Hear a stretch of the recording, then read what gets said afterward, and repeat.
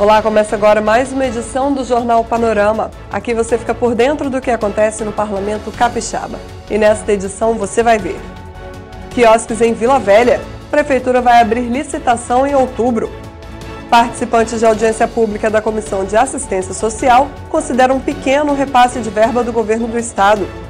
Projeto Social em Cariacica oferece cursos para 300 alunos e pede apoio para bancar despesas.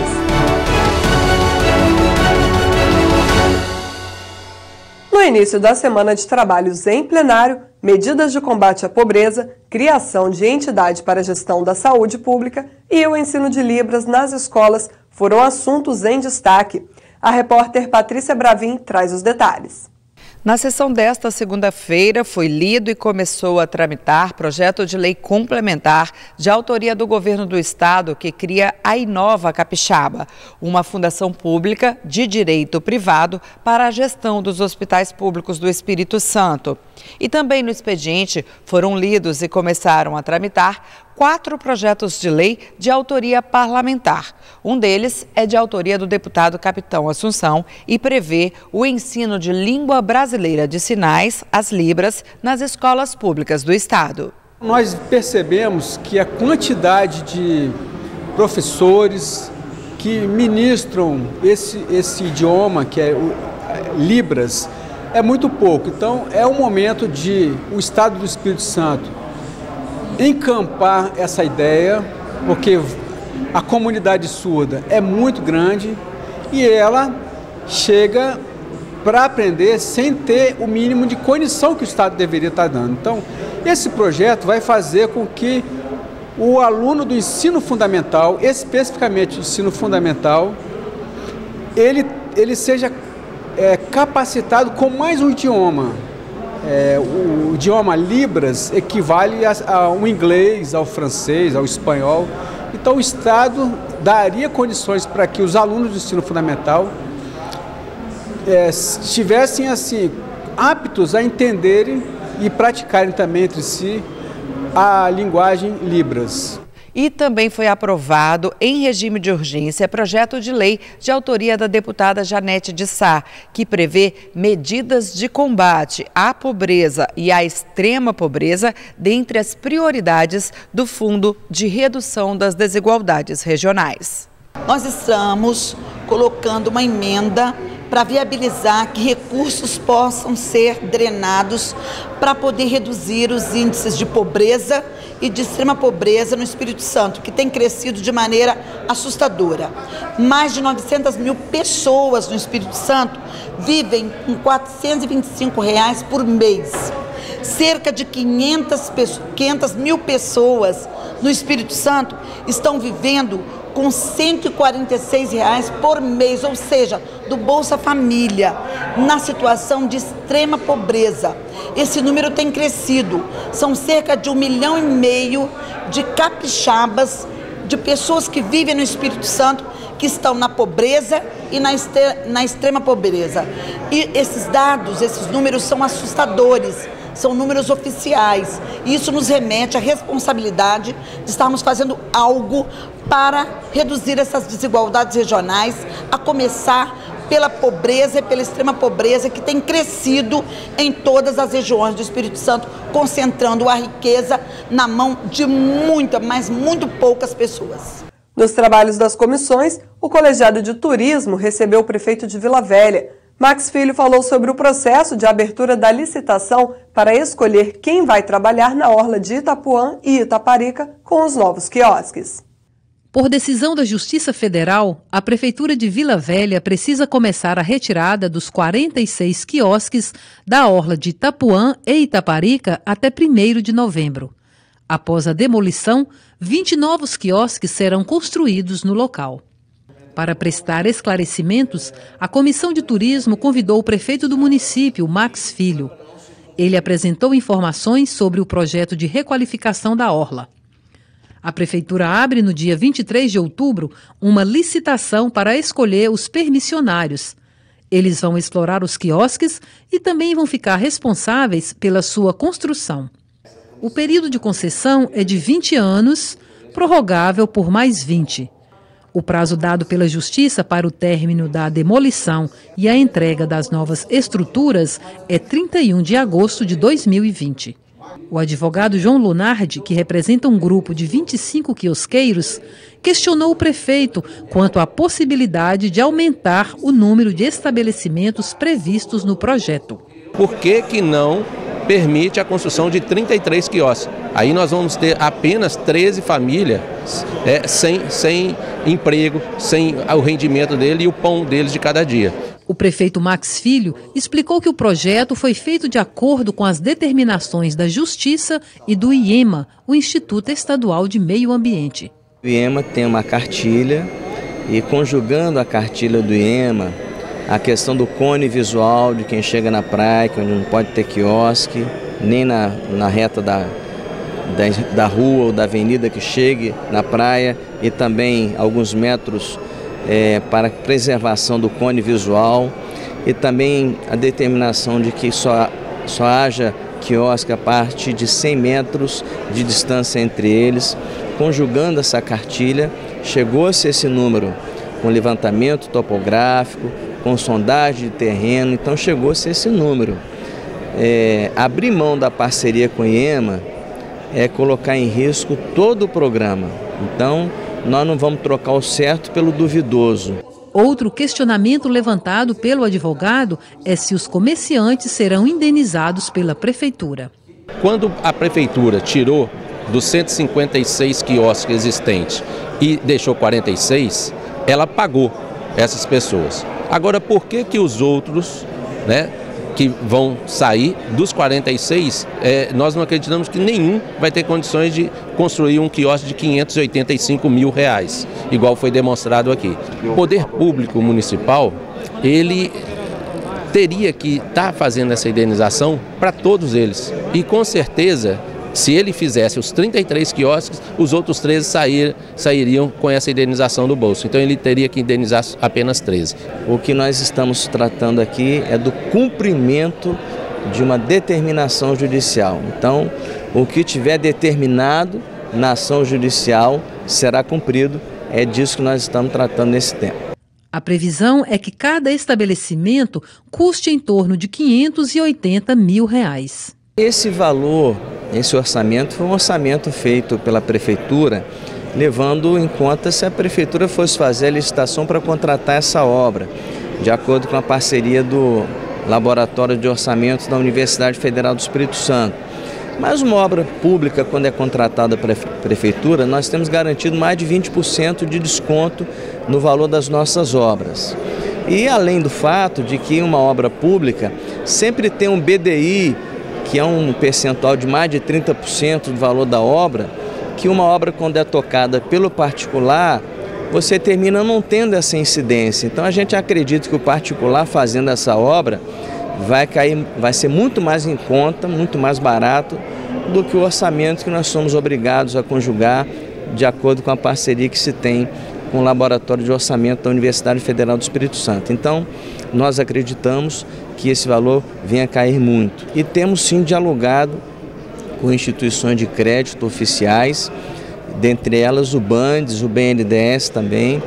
O Bandes, o presidente do Bandes, acenou com a possibilidade de uma linha de financiamento, uma linha social voltada aos quiosqueiros, além do fato de que 20 anos de um quiosque você podendo comercializar na praia, na areia da praia, nós acreditamos que em parceria com é, produtoras de bebidas, de refrigerantes, de cervejas, certamente os quiosqueiros vão ter condições de colocar um quiosque de melhor padrão, de melhor qualidade na orla de Itapuã e Itaparica do que o que temos lá hoje. Para o presidente da Comissão de Turismo, a vinda do prefeito à Assembleia serviu para esclarecer várias dúvidas. Foi aberto a palavra, os quiosqueiros tiveram a oportunidade de se manifestar, de, de perguntar, o prefeito respondeu a todas as perguntas e foi um, um debate muito transparente e participativo. E eu acho que é isso que a população espera dos políticos, né? e é isso que a gente está tentando fazer aqui nessa Casa de Leis.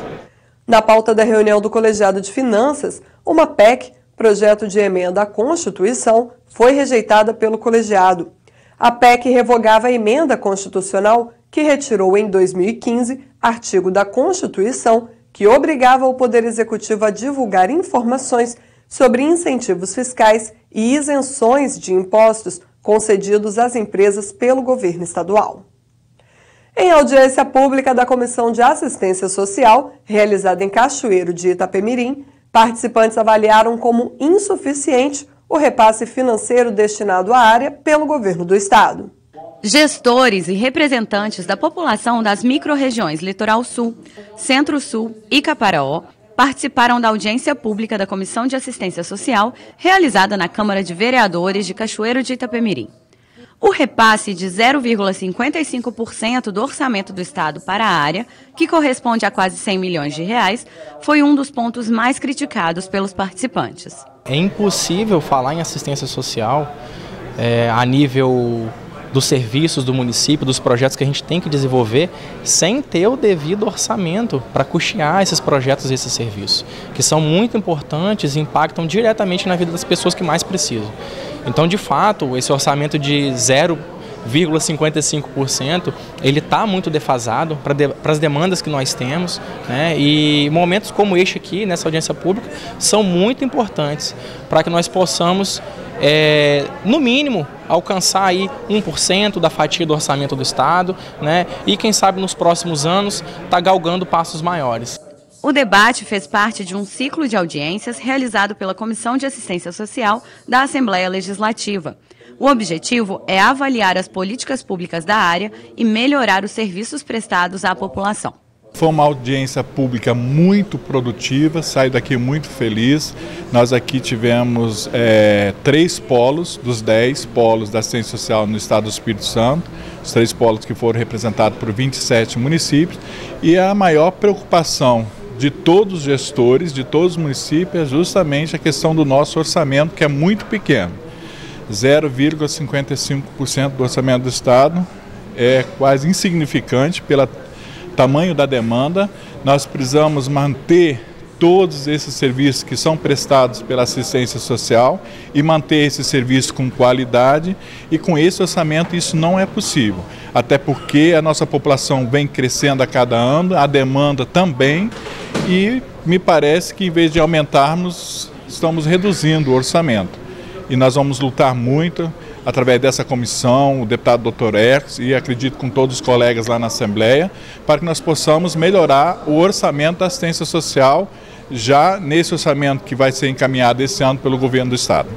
Apoio para promover a arte musical ao ar livre. O pedido foi feito pelo convidado da Comissão de Cultura. O professor Gustavo Ortega apresentou ao colegiado o projeto Pindorama, que há sete anos promove a música e cultura brasileiras em espaços públicos e que há um ano acontece sob a Ponte da Passagem, em Jardim da Penha. Ele veio em busca de apoio da Comissão de Cultura. É uma festa de música brasileira que a gente convida a juventude capixaba para se divertir, curtir os seus momentos de lazer.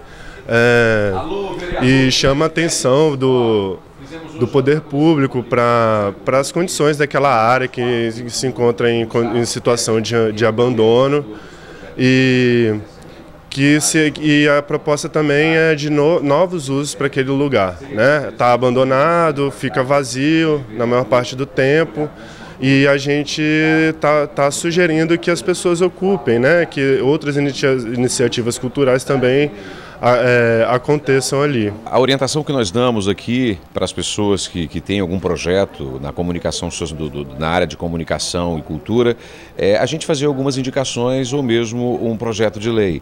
No caso do Pindorama, que, é, que fala sobre a cultura da MPB, da música popular brasileira, que o idealizador é o Gustavo Ortega, a gente vai fazer com certeza essas indicações, vamos entrar em contato com a Prefeitura de Vitória também, porque por ser uma região dentro do estado aqui, ali embaixo da, da, da ponte Carlos Lindenberg, com certeza essa indicação vai ser feita e no que depender da Comissão de Comunicação Social e Cultura para o desenvolvimento do jovem aqui do Espírito Santo, principalmente o jovem que gosta da boa música brasileira, a gente vai estar tá indicando sim fazendo projetos.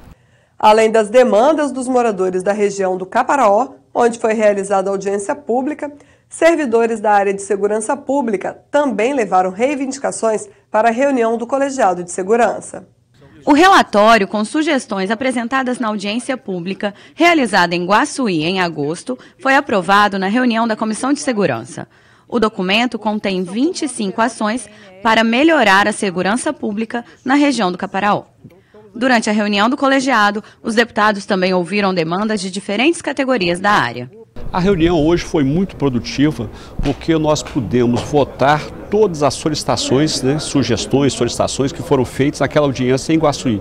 A sociedade foi ouvida, a Polícia Civil, a Polícia Militar, até o Ministério Público também fez algumas reivindicações, a prefeita municipal fez também as suas reivindicações e foi votado hoje aqui a unanimidade. Mas também foi importante ouvirmos aqui os segmentos né, de outras é, policiais militares, cabos e soldados, e você vê inclusive com relação aos aprovados em 1996, do, do, concurso 96, que estão fazendo as suas reivindicações. Nós, inclusive, marcamos com eles agora, após a reunião aqui da, da comissão, e nós vamos pessoalmente procurar o judiciário para ver no que é possível essa comissão é, estar ajudando a esses profissionais para que eles sejam nomeados o mais rápido possível. Projeto social localizado em Cariacica, que oferece abrigo e cursos profissionalizantes para adolescentes, foi apresentado aos membros do Colegiado de Proteção à Criança e ao Adolescente. O projeto Montanha da Esperança de acolhimento institucional e formação profissional de adolescentes foi apresentado em reunião do Colegiado de Proteção à Criança e ao Adolescente. A instituição abriga 30 adolescentes do sexo masculino em situação de risco social e oferece cursos profissionalizantes a outros 300. O custeio desses cursos foi uma das dificuldades apontadas. A gente tem um curso de informática, de artes, de música, de inglês, tem um curso de áreas administrativas, né? telefonista, recepcionista, auxiliar administrativo, recursos humanos. Tem também o curso na área de padaria, de confeitaria, de salgados, curso na área de, de automotiva, né? peça automotiva. Então a gente tem funilaria, pintura, reparação automotiva, polimento. Então tem bastante cursos que a gente tem. São sete professores trabalhando, oito professores né, com esse de inglês trabalhando o dia todo lá com cursos de manhã e de tarde. Então tudo isso tem um custo e hoje não tem um financiamento do poder público, né? Outro desafio citado foi o acolhimento de adolescentes envolvidos com drogas. Então hoje a gente tem qualificado o nosso trabalho para conseguir dar uma atenção também para essa questão da dependência química, para que esses adolescentes consigam permanecer ali dentro e fazer para a gente poder fazer alguma mudança na vida dele, né? Porque às vezes é difícil que ele vai para lá, mas em função da abstinência acaba saindo também, não permanece acolhido. Né? Uhum. Então, esse é um desafio que a gente precisa se aperfeiçoar. Esse trabalho tem que ser reconhecido por essa casa, tem que ser reconhecido pela população e esse foi o momento de dar voz, de dar vida a todo esse tipo de trabalho que é feito e que dá resultado para as nossas crianças. O presidente do colegiado falou também sobre a convocação do secretário de Estado da Educação, Vitor De Angelo, para a próxima quarta-feira. Nós recebemos diversas mães, uma comissão de mães aflitas, com a possível a iminência do fechamento de unidades da Escola Viva, a escola de tempo integral do governo do Estado do Espírito Santo. Nós então não poderíamos deixar de tomar essa atitude, porque essas mães precisam ouvir a palavra do secretário, precisam ouvir a palavra oficial. Se há projeto, se há possibilidade de fechamento, porque são mães que estão vislumbrando o futuro profissional de seus filhos, que estão tendo uma oportunidade agora de estudar e de ter uma formação melhor.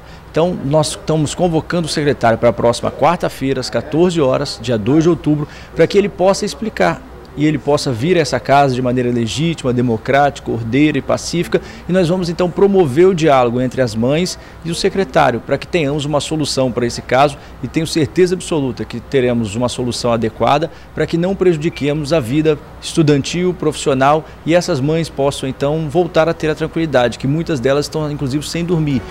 E o Jornal Panorama de hoje vai ficando por aqui. Mais informações sobre as atividades do Legislativo você encontra em nosso site e em nossas mídias sociais. Obrigada pela companhia de sempre e continue ligado na TV Assembleia, o seu canal cidadão.